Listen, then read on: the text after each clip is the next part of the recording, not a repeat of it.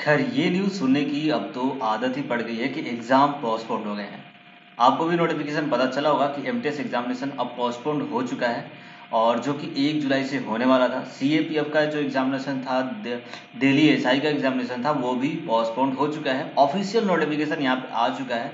मैं आपको दिखाऊँगा कि क्या लिखा गया है ऑफिशियल नोटिफिकेशन में और क्या वजह है इसको पोस्टपोन करने की। वे सभी चीज़ें मैं आपको बताने वाला हूँ। सी और सी एग्ज़ाम के बारे में भी डिस्कस करेंगे।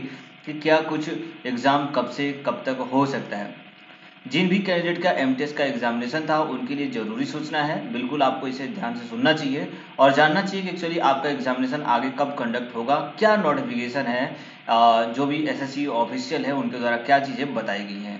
तो चलिए मैं सीधे आपको ऑफिशियल वेबसाइट पर लेके चलता हूँ और वहाँ पर आपको दिखाता हूँ कि किस तरीके से क्या नोटिफिकेशन आई हुई है।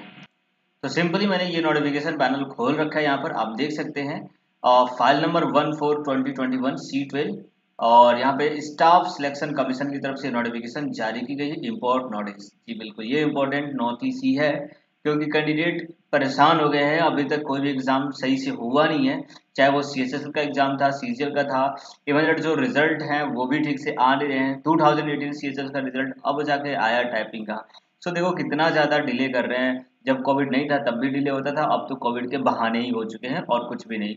तो फाइनली ये नोटिफिकेशन दिया गया है कि the commission has decided to postpone the following exam until further orders है ना? अंटिल फर्दर ऑर्डर दैट अभी कोई डेट यहाँ पर इशू नहीं है कि अगला एग्ज़ाम जो होगा वो कब तक होगा। इसके पहले जो सी एच एस एल का एग्ज़ाम पोस्टपोन हो चुका है सीजीएल का हो चुका है, उनका भी अभी तक कोई डेट यहाँ पर नहीं दिया गया है। तो आप देख सकते हैं यहाँ पे लिखा है multitasking non technical examination paper 2020 2020 का एग्ज़ाम था। इसे आप लोगों ने फिल किया था फॉर्म एक जुलाई से ये होने वाला था बट एक जुलाई से ट्वेंटी जुलाई के बीच में होने वाला था, अब इसे पोस्टपोन कर दिया गया है। फर्दर कब होगा, कोई डिटेल नहीं मालूम है। सब इंस्पेक्टर दिल्ली का था सी का एग्जामिनेशन था, वो एग्ज़ाम भी यहाँ पर पोस्टपोन कर दिया गया। ट्वेल्व ऑफ़ जुलाई से ये भी एग्ज़ाम होने वाला था। इन दोनों ही पेपर को आगे फर्दर पोस्टपोन कर दिया गया। यहाँ पर फाइनली कोई रीजन बताया नहीं गया है कि क्यों किया गया है but only reason is here that is COVID nineteen है ना? तो कोविड की वजह से खासकर परेशानियाँ तो हैं, अभी भी केसेस काफ़ी कम हो गई हैं बट सिचुएशन काफ़ी ज़्यादा खराब हो के रखी हुई है क्योंकि ऐसा माना जा रहा है कि थर्ड वेव इंडिया में जल्दी ही आने वाला है। तो उसको प्रिकॉशन एज लेकर के शायद ये ऐसा कर रहे हैं बट एज यू थिंक आप देख सकते हो कि अगर थर्ड वेव अगस्त तक भी आता है या सितंबर, अक्टूबर तक आता है तो कितना लंबा, क्या इस साल कोई एग्ज़ाम ही नहीं होगा? बिल्कुल नहीं। अगर ये सिचुएशन कुछ प्रिकॉशंस को मेजर करके एग्ज़ाम कंडक्ट करा सकते थे, ऐसा कि ये कर सकते थे बट इनका इंटेंशन ही नहीं है कि एग्ज़ाम को कराया जाए।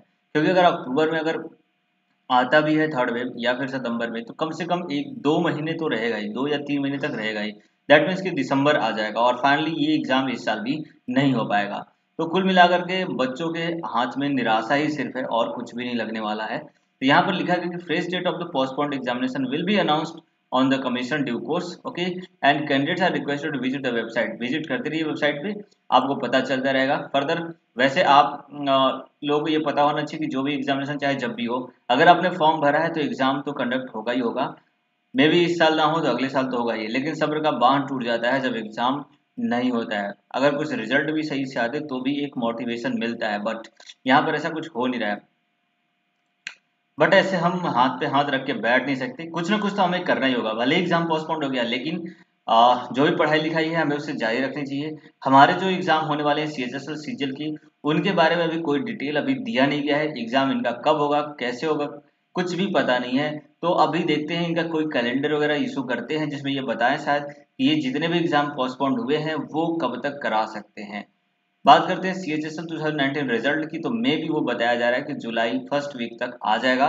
तो होप सो अगर आपका रिज़ल्ट आता है तो बेस्ट ऑफ़ लक बाकी जिनका C H S L two का जो रिज़ल्ट आया है उनके लिए चेयरअप आप लोगों का सिलेक्शन हुआ है। धन्यवाद आप लोगों का बहुत बहुत बात करते हैं कि जिनका एग्जामिनेशन अभी होने वाला है, उनके लिए मैंने कुछ खास वीडियो यहाँ पर लेके आई है। दोस्तों, यहाँ पर मैं लेकर आया हूँ बायोग्राफी भगत सिंह, नेताजी सुभाष चंद्र बोस। बायोग्राफी सरदार पटेल, मिल्खा सिंह और ऐसे ही बहुत सारे जो फ्रीडम फाइटर्स हैं, उनके ऊपर मैं वीडियोस लेकर के आ रहा हूँ। साथ में जीके के क्वेश्चंस भी लेकर आता हूँ, इसलिए मेरे चैनल के साथ आप अपडेट रहें। अगर आपने चैनल सब्सक्राइब नहीं किया तो सब्सक्राइब कर लें और ये वीडियोस को जाकर आप ज़रूर देखें। देखो, जो भी एग्ज़ाम आप दे रहे हो, चाहे सी एस एस लो सी हो, या फिर एसएससी के अलग एग्जामिनेशन होते हो, जो भी, या फिर रेलवे के, उन सभी जगह पे अपने जो हीरोज हैं हमारे इंडिया को इंडिपेंडेंट कराने में, उन सबके जीवनी से रिलेटेड उनका बर्थ कब था, किस मोमेंट में पार्टिसिपेट किए थे, और उनकी जो जो उन्होंने स्लोगन्स दिए हैं जैसे सुभाष चंद्र बोस ने जय हिंद, जय भारत का नारा दिया है, भगत सिंह ने दिया है इनकलाब जिंदाबाद।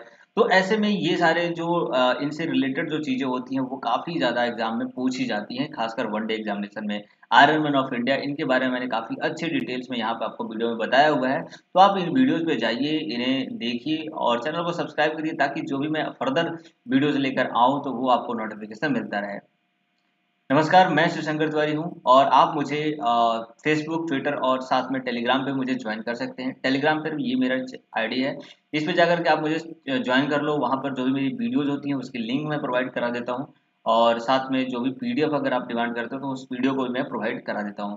तो इस तरीके से आप इन वीडियोज़ को देखिए, समझिए और फर्दर जो भी आपकी रिक्वायरमेंट होगी, वो मैं यहाँ पर दूसरे किसी भी अगर आप फ़ेमस पर्सनैलिटी की बात करते हो जैसे मैंने आज ही फर्दर वीडियो लेकर आई है कल्पना चावला के ऊपर, आप उस वीडियो को भी आप जाकर देखिए। तो इस तरीके से नॉलेज आप अपना बढ़ाते रहो। हर दिन एग्ज़ाम नहीं हो रहा है उससे कोई फ़र्क नहीं पड़ रहा। है आपके पास अगर नॉलेज होगी, आपकी तैयारी अगर अच्छी होगी तो जिस दिन मौका मिलेगा, उस दिन आप छक्का मारोगे, बिल्कुल।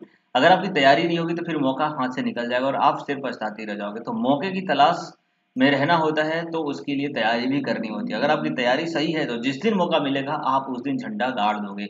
अपने झंडे गाड़ने के लिए हमेशा ही तैयार रहना होता है दोस्तों। तो बिल्कुल आप बने रहो, डटे रहो और अपनी तैयारी में लगे रहो। तब तक आपके लिए आपका दिन शुभ हो। जय हिंद, जय भारत।